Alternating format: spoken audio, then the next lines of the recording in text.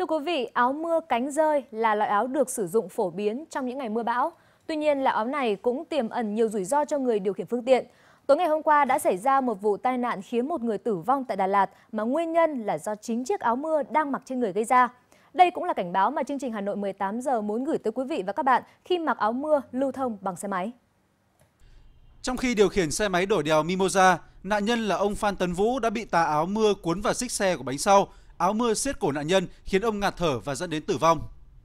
Đây chỉ là một trong rất nhiều vụ tai nạn do mặc áo mưa bất cẩn trong khi điều khiển phương tiện gây ra. Áo mưa cánh rơi là loại áo mưa phổ biến nhất bởi sự tiện dụng của nó. Tuy nhiên khi trời mưa, hầu hết mọi người thường có tâm lý vội vàng mà không để ý tới việc cần phải mặc áo sao cho an toàn. Những vạt áo lòa xòa như thế này có thể bị cuốn vào bánh xe, gây tai nạn cho người điều khiển. Để an toàn khi mặc áo mưa tham gia giao thông, bạn hãy lưu ý những điều sau. Nên ngồi đè lên vạt sau của áo mưa, không để vạt sau phủ lên yên xe, tránh trong lúc di chuyển vạt có thể bị cuốn vào bánh sau.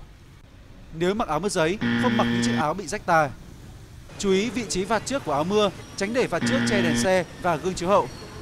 Nếu có thể, hãy lựa chọn những bộ quần áo mưa rời như thế này. Những kiến thức tuy đơn giản nhưng lại dễ bị bỏ qua.